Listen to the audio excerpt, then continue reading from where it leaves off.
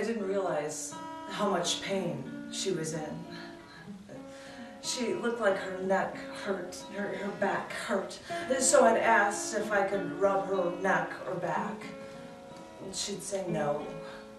And then she'd say that, that that wouldn't help, that it hurts down in the bones. Mm-hmm.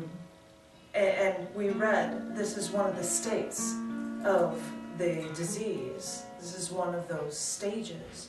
And I don't know what it feels like to hurt in the bones. Something deeper than a, a deep muscle pain. I, I can't imagine it. I, I can't imagine what it feels like.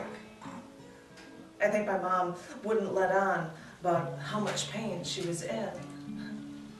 When the doctors told mom she had six months to a year with this disease, I said to mom, your father, my grandfather, had cancer, and the doctor said he had six months to live.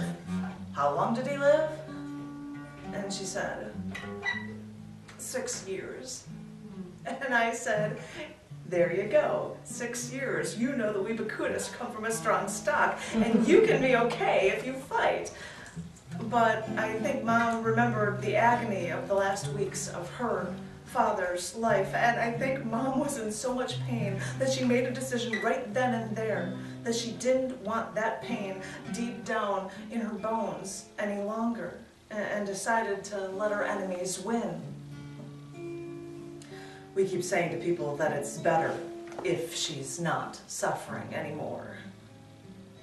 It kills us inside but we don't want her to feel that pain anymore.